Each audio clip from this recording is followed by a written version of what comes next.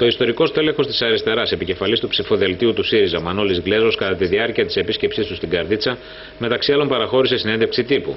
Στη διάρκεια της έκανε εκτενή αναφορά σε ιστορικά γεγονότα που διαδραματίστηκαν στην περιοχή κατά τη διάρκεια της αντίστασης. Όμως δεν έλειψαν και οι εκτενείς αναφορές στη σημερινή πολιτική πραγματικότητα και στην επικείμενη εκλογική αναμέτρηση. Είναι χαρακτηριστική αντίδραση του κυρίου Γκλέζου όταν ρωτήθηκε αν θα συνεργαστεί ο ΣΥΡΙΖΑ με άλλα κόμματα. Αρχίζουν και λένε με ποιον θα συνεργαστεί, με ποιον θα κάνει και δυστυχώς παρασύρονται οι δικοί μας και πέφτουν στο διολίσθημα και δίνουν απαντήσεις ενώ το θέμα δεν είναι αυτό.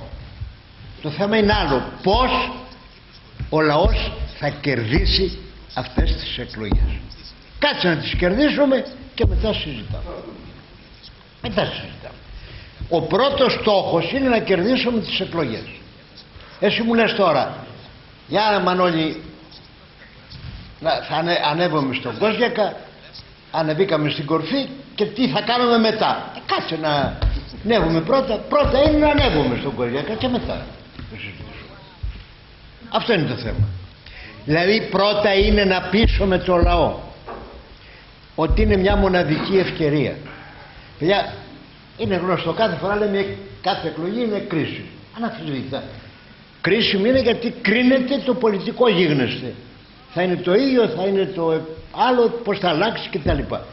Αλλά τούτη φορά δεν κρίνεται απλώς η πορεία του πολιτικού γίγνεσθε.